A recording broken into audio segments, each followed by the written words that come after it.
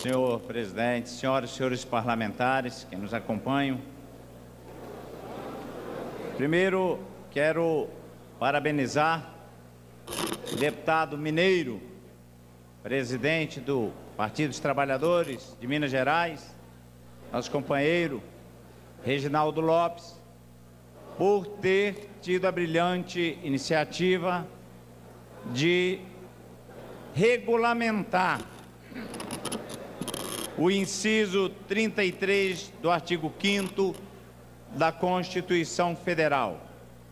Parabéns, deputado Reginaldo Lopes, por essa iniciativa e com certeza o plenário vai confirmar e vai aprovar esse projeto, porque Vossa Excelência, pela sensibilidade que tem e pelo democrata que é, percebeu que faltava ao cidadão brasileiro esse direito à informação ampla naquilo que diz respeito a ele.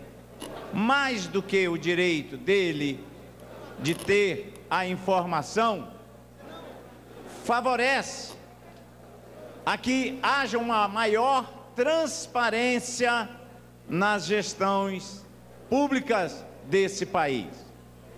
E aqui também está incluído poder executivo, legislativo e judiciário. Claro, no que diz respeito, judiciário eh, e legislativo, no que diz respeito à questão administrativa.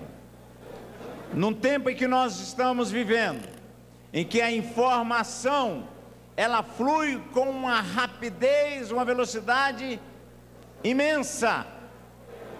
Nós não podemos ter uma legislação que impeça o acesso à informação.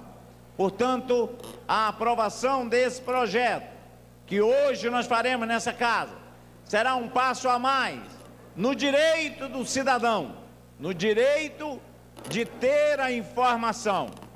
E ao mesmo tempo, esta casa dá uma demonstração da sensibilidade política, da sensibilidade que nós representamos o povo brasileiro. Da mesma forma que no dia 5 de maio nós estaremos aqui votando, reconhecendo um outro direito do cidadão brasileiro, de ter os seus representantes e seus governantes eleitos, somente aqueles que tenham ficha limpa. Portanto, parabéns, deputado, e eu tenho certeza dessa aprovação. Por isso, nós também estamos favoráveis.